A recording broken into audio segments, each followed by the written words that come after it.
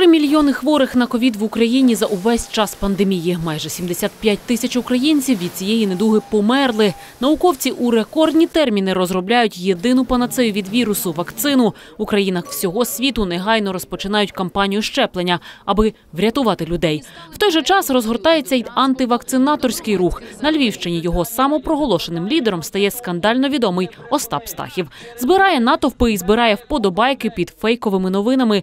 Боротися з пропагандою відмови від щеплень почали лише зараз. Депутат Львівської міської ради Ігор Шолтис скерував звернення до СБУ. Є підстава вважати, що Стахів е, порушив 109 та 110 статті Кримінального кодексу України в області посягання на державний суверенітет та намагання до повалення конституційного ладу. Осередки російських спецслужб, зокрема в обличчі Московського патріархату в Україні, е, поширюють антивакцинаторські настрої. Те, що говорять вони, і те, що говорить Стахів, так в своїх промовах воно є досить співзвучним чи не ідентичним. Про неправдиву, ба навіть небезпечну інформацію щодо вакцин, яку поширював антивакцинатор, знають і в медіаколі. Альона Романюк, яка займається розвінчуванням міфів, називає лише декілька з тих, які розбили надрузки за допомогою доказової медицини та фактчекінгу. Це і заяви про те, що буцімто вакцини смертельно небезпечні, що вони викликають хвороби, російська пропаганда добрячно просуває наративи про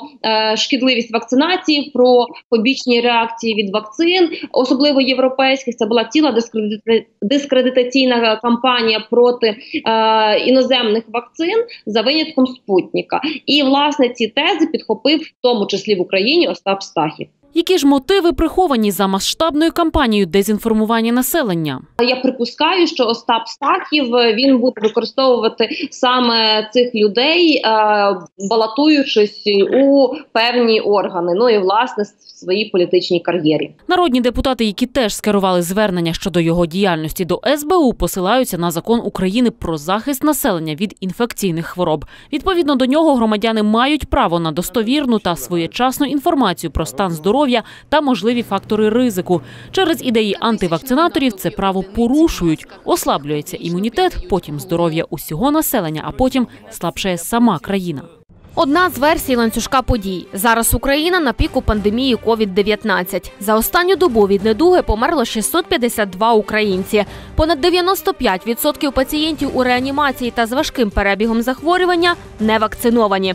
Щеплення і дотримання карантинних обмежень наразі єдині способи зупинити поширення коронавірусної інфекції. Остап Стахів виголошує ідеї руху антивакцинаторів. Таким чином, люди, які йому вірять, масово відмовляються від вакцинації. Більше нещеплених, більше хворих, більше смертей.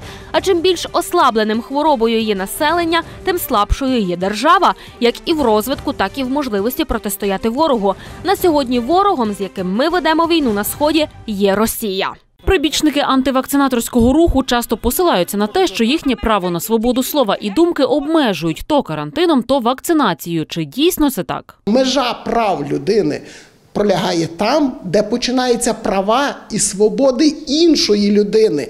І той, хто уникає вакцинації, він порушує в тому числі і моє право. І казати в цій частині це моє право. Що я заподію шкоду своєї своєму здоров'ю, воно дещо конфліктує з моїм, тому що в тому числі і за мій рахунок та людина буде лікуватися. А отже, додає, якщо невакцинована людина займе ліжко в лікарні того, хто, наприклад, має супутні хвороби, він порушить його право. До того ж, в статті 34 Конституції України прописано обмежувати право на свободу слова допустимо в інтересах національної безпеки для охорони здоров'я України.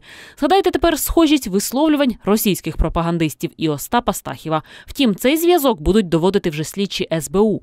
Така є семантико-текстуальна експертиза. Саме вона може визначити, чи от оцей досліджуваний текст е, містить негативну інформацію, повалення територіального устрою, чи є словесні засоби, які використані в досліджуваних текстах, е, спрямовані на негативні емоції. Тобто, це все буде тривати після проведення експертизи. А поки працює СБУ, нехай працює і ваше критичне мислення. Медіаексперти закликають дотримуватися інформаційної гігієни. Найперше це є джерело інформації. Е, треба шукати, де є перше джерело, тому що фейки переважно вони якби роз, розповсюджуються через передруки. Друге, це є е, хто є автором. Треба звертати увагу на це, хто це підготував, е, з яких мотивів. Третє це дивитися баланс. А ще читати статті на всесвітньо визнаних ресурсах новини, звіряти переклад з оригінальним текстом та піддавати сумніву новини, які дублюють такі ж з російського інформпростору. Діана Буткевич, Наталія Нечай, Павло Замрій. Програма очі. Thank you.